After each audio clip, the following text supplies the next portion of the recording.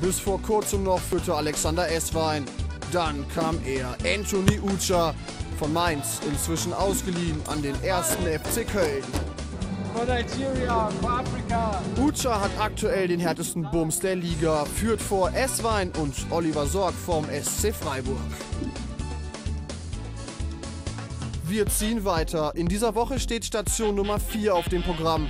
Auf geht's zur Spielvereinigung Greuther Fürth. Nicht gerade die Torfabrik der Liga. Magere zwei Törchen hat der Aufsteiger bislang erzielt. Kein Wunder bei so wenig Power. Willkommen in der 30er-Zone, Herr Fürstner.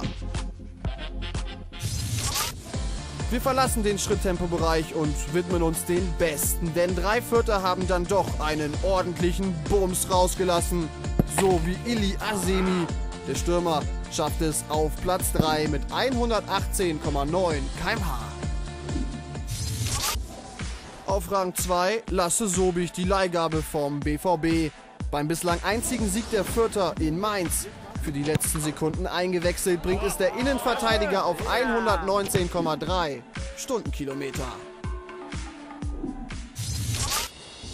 Sieger in Fürth, Serkan Sararea, bislang noch ohne ein Tor in der Bundesliga. Dabei war er schon so nah dran. Wir erinnern uns, der hat einen richtigen Bums, der Sararea.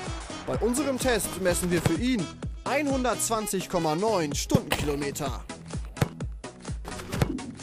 Damit verfehlt der beste Vierter die Top 3 nur hauchdünn. Sararea, Sobich und Asemi liegen auf den Rängen 4, 5 und 6. An der Spitze thront weiter Anthony Ucha.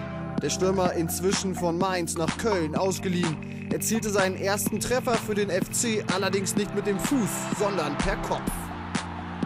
Einen Führungswechsel gibt es in dieser Woche im Teamranking. Die beste Vierter Elf kommt im Schnitt auf 114,5 km/h. Neuer Spitzenwert.